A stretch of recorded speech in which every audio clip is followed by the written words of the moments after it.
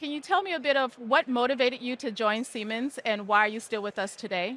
I was always passionate about technology, and in Germany, uh, Siemens stands for technology. So this was my trigger to, to join the company. And where do you see the future as a tech company? Siemens is a tech company already. Just look down on the on the fairground here, you will see that. Um, and I believe with that combination of software and automation, a strong focus on digital twin and sustainability, we're going to contribute to make the world a little better. How are you and your team creating technology with purpose to create a better tomorrow?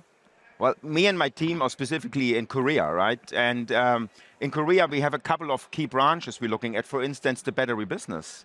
So with the technology we are bringing to our customers in Korea is helping to change the entire way of mobility. So we're making it a little bit more sustainable.